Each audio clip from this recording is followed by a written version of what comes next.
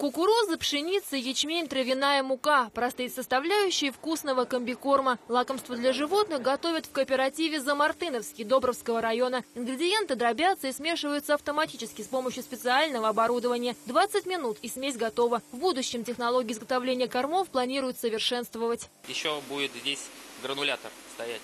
То есть потом будет это все гранулироваться в определенные гранулы. То есть для каждой для птицы одни гранулы, там для свиней, поросят другие гранулы. На покупку оборудования и строительство члены кооператива уже потратили около 14 миллионов рублей. Часть затратам субсидировали по программе поддержки сельхозпроизводителей. Комбикорм из-за Мартыновского приобретают для местных ферм. Им же участники кооператива кормят своих животных, кроликов и свиней. В будущем в кооперативе планируют выращивать крупный рогатый скот. Коровник уже готовят. Мы собираем сейчас ферму сделать где-то на 60-80 бычков. Ну, я думаю, что это не проблема. Главное желание, чтобы было, а все остальное со временем, так сказать, будет. Замартыновский только один из примеров успешной организации собственного дела. Своим опытом создания кооператива на административном совете поделилась Александра Грашина. Городскую суету она променяла на сельскую жизнь. Переехала с семьей в село Волчье и создала кооператив «Жар-птица». Разводят бройлеров, кроликов, рынок сбыта отлажен. Вкусное полезное мясо пользуется повышенным спросом. Заниматься можно и нужно, особенно это нужно заниматься молодыми,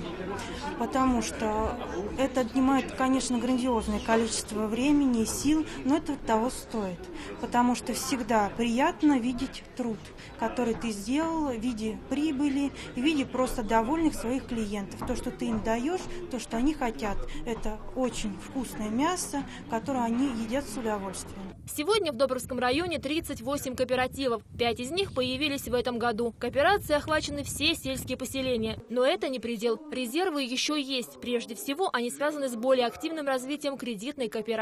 Мы за то, чтобы кооперативное движение было осмысленным. Олег Петрович, вы знаете, считает, что местное самоуправление и кооперативное движение, народное предприятие, вот два механизма, которые сегодня позволят сельскому району активно развиваться. По многим направлениям Добровский район уже занимает ведущие позиции. Муниципалитет – лидер жилищного строительства. В этом году добровцы уже ввели в эксплуатацию 23 тысячи квадратных метров, тем самым на 80% выполнив годовой план. По объему инвестиций на душу населения Добровский район в тройке лидеров. Район активно развивается. У нас сегодня э, на полторы тысячи голов дойного стада строится комплекс в районе Замартынья, Трубечина. Значит, э, индюшиная ферма Кривце. Значит, сегодня значит, и другие, ряд других объектов, в том числе по свиноводству. Три площадки у нас будут. Новые проекты – это дополнительные рабочие места и налоги. В целом потенциал у района хороший. Развиваться можно в разных направлениях. Одно из приоритетных – туризм. Район сегодня уже предложил несколько площадок. Это будет в основном акцент на семейный туризм, на туризм, связанный именно с отдыхом на прекрасной природе.